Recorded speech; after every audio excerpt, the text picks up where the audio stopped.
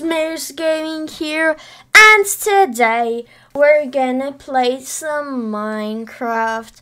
In this video, I'm going to be showing you guys how to build a Minecraft kelp farm. So without further ado, let's get into the video.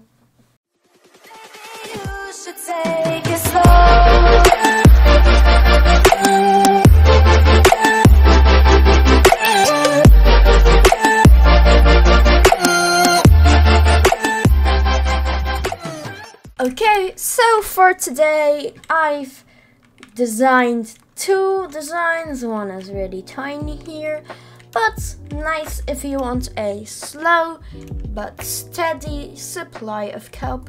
It's really good if you want it to work in the background and you don't need much kelp. And this is the big boy. If you use kelp very often, I don't know what you would use kelp for. Maybe as a a source of fuel for furnaces. But anyways, this is the big boy. This is the one you want if you want to have a lot of kelp.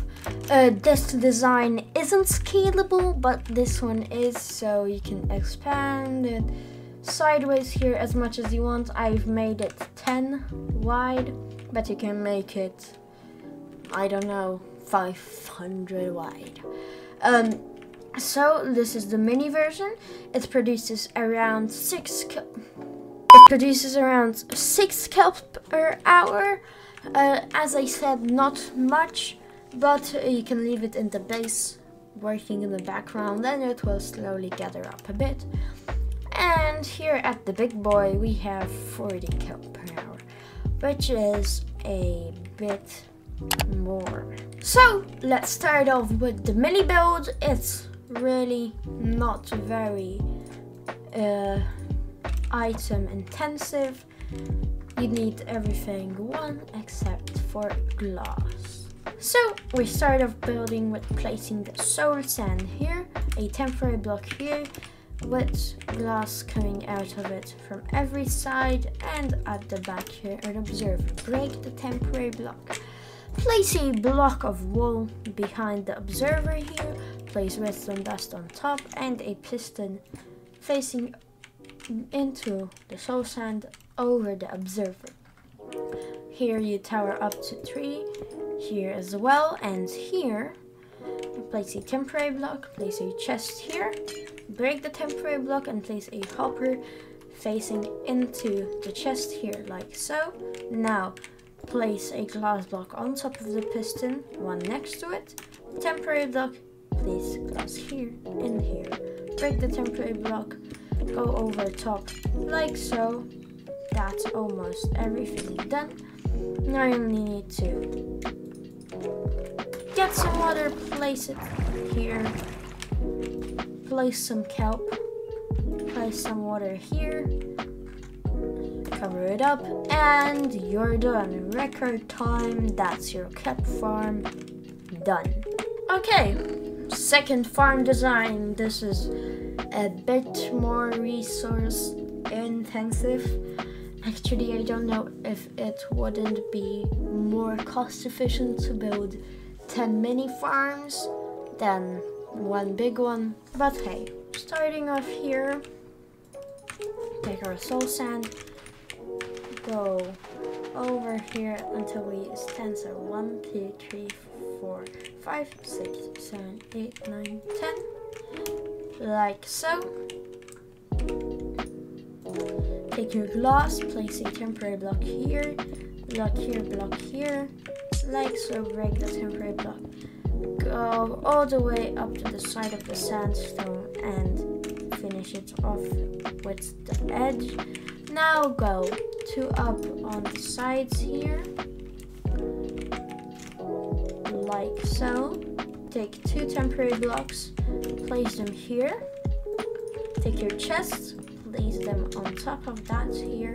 Break the temporary blocks, hopper facing in to the chest, hopper facing into a hopper like so. And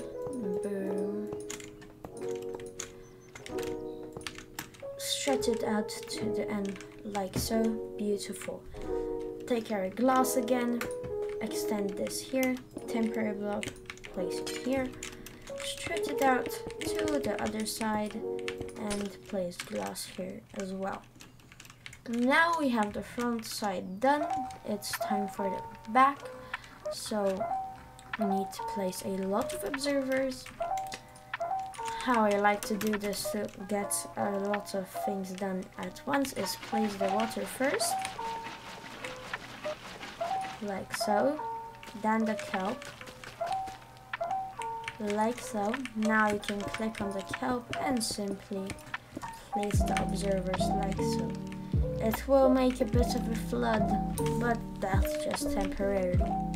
Here, make a row of wool behind the observers one block lower.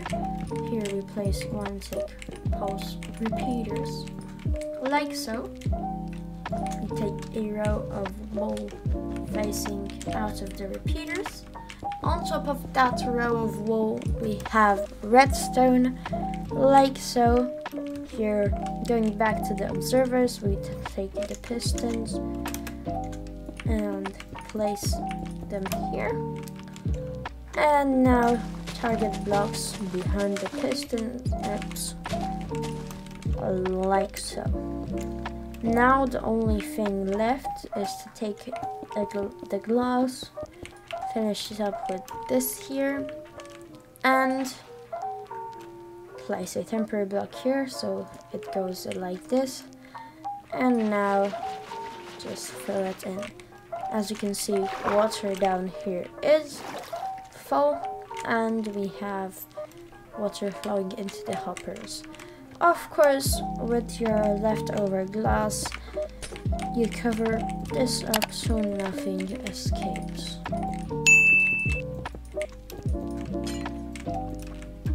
In both systems, there might be some problems with some kelp jamming in here. I've seen way less in this system.